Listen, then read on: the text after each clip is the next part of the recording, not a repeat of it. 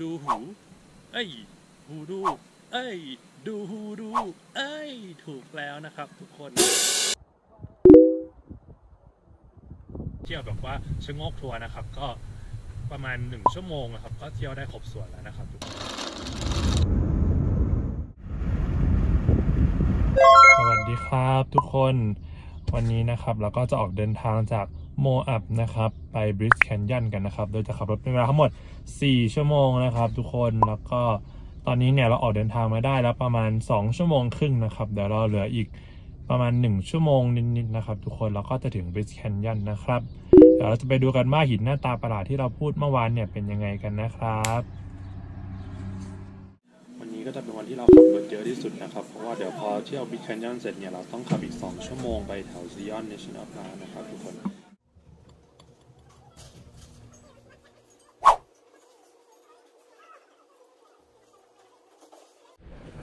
ครับตอนนี้เราก็อยู่กันที่ร้านขายของฝากนะครับ พี่ของเราฝากซื้อโปสการ์ดหนึ่งใบนะครับ ทุกคนเดี๋ยวเราก็เลยจะมาเลือกนะครับว่าเราจะเอาอันไหนดีนะครับ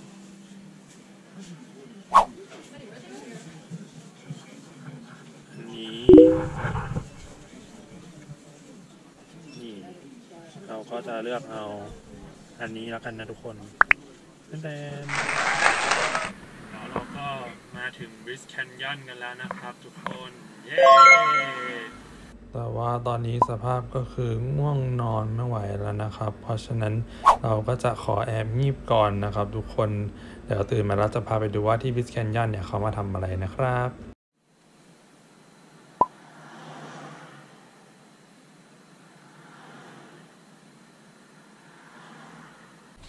และตอนนี้นะครับข้างหลังก็คือ The Rainbow Point นะครับทุกคนตึงตึงซึ่งที่ Bridge Canyon นี่นะครับ เขาจะมาดูหู เอ้ย หูดู เอ้ย ดูหูดู เอ้ย ถูกแล้วนะครับทุกคน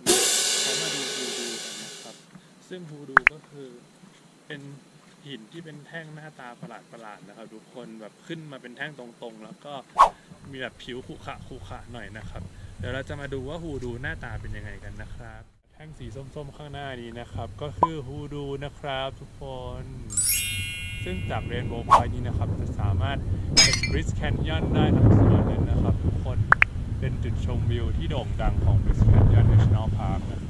ับแล้วก็ ช่วงสาระนะครับสำหรับคนที่อยากรู้ว่าเจ้าฮูดูเนี่ยมันเกิดขึ้นมาได้ไงนะครับเพราะเขาบอกว่าเกิดจากฝนน้ำแข็งแล้วก็หิมะนะครับทำให้หินเนี่ยแตกสลายเป็นเสียงๆเกิดการเสื่อมสลายไปตามเวลาอาจจะมีลมนิดๆหน่อยๆนะครับทุกคนแล้วก็พอเวลาผ่านไปเนี่ยธาตุแคลเซียมคาร์บอเนตมันก็โดนทำลายไปทีละนิดนะครับทุกคนแล้วสุดท้ายก็กลายเป็นสภาพฮูดูอย่างที่เห็นนะครับ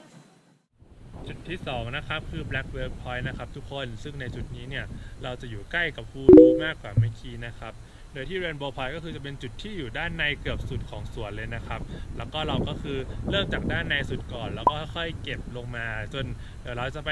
จบที่ด้านล่างนะครับ คือเราจะไปเดินกับฮูดูเลยนะครับทุกคน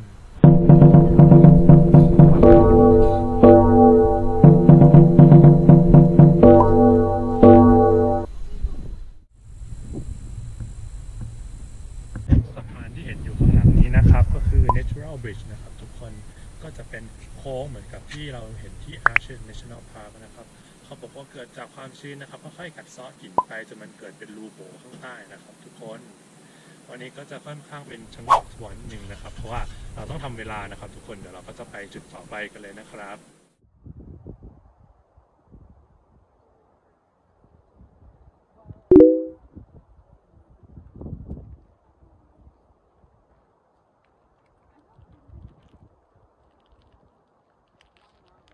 ก็ตั้งแต่เข้ามาในสวนนะครับ ทุกคนก็ตามความรู้สึกเลยอยากจะบอกว่าตรงจุดเนี้ยที่ Inspiration Point เนี่ยสวยที่สุดนะครับทุกคนนี่ซึ่งความจริงแล้วนะครับ เราสามารถเดินจากจุดเริ่มต้นที่แถว Sunrise Sunset Point นะครับ ทุกคนขึ้นไปจนจุดที่เราผ่านมาเมื่อกี้เลยครับ ตอนจุดแรกคือ Rainbow Point ได้เลยนะครับถ้าเกิดว่าใครอยากจะเดินนะครับ ซึ่งหลายๆคนที่เขามาเที่ยวกันเนี่ยเขาก็มาเดินนะครับทุกคนดังนั้นเขาก็เลยใช้เวลาอยู่ที่นี่กันแบบเป็นวันๆกันเลยนะครับ ส่วนถ้าใครจะเที่ยวแบบว่าชะงกทัวร์นะครับ ก็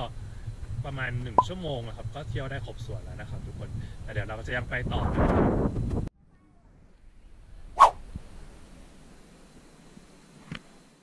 ตอนนี้ก็เป็นเวลาสองทุ่มนะครับกำลังจะตกแล้วนะครับ แล้วก็เราอยู่กันที่ Sunset Point นะครับ ทุกคนซึ่งจาก Sunset Point นะครับ ก็จะมีทางให้ลงไปดูฮูดูใกล้ๆนะครับ ทุกคนเดี๋ยวเราจะพาไปดูกันว่าฮูดูที่เราพูดถึงมาตลอดเนี่ยถ้าดูใกล้ๆเนี่ยหน้าตาจะเป็นยังไงนะครับ ข้างบนนั้นนะครับ ทุกคนคือ Sunset Point ที่เราเดินลงมานะครับ แต่ว่าข้อตลกก็คือว่าที่นี่มี Sunrise Point ด้วยนะครับทุกคน Sunrise Point คือตรงนู้นนะครับ มีคนยืนอยู่นะครับ ซึ่งทั้งสองวิวนี้นะครับ Sunset กับ Sunrise Point นะครับทุกคนหันหน้าไปทางเดียวกันนะครับ ทุกคน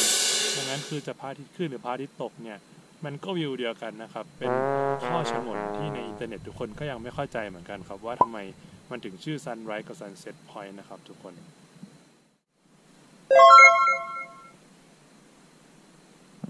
เราก็มายืนอยู่ท่ามกลางฮูดูต่างๆแล้วนะครับ ทุกคนซึ่งฮูดูนะครับ ก็จะตั้งอยู่เป็นหย่อมๆกระจายกระจายกันเป็นแท่งๆแบบนี้นะครับ มหัศจรรย์มากนะครับ ทุกคนแล้วก็เดี๋ยววันนี้นะครับ เราก็จะต้องขับรถกลับไปอีก 2 ชั่วโมงนะครับ เพื่อที่จะไปจาก Bryce Canyon ไป Zion National Park นะครับ เพราะว่าพรุ่งนี้เนี่ยจะเป็นการ hike วันสุดท้ายของเรานะครับ วันนี้เราก็ จบกันแต่เพียงเท่านี้นะครับ ทุกคนเจอกันใหม่พรุ่งนี้ครับ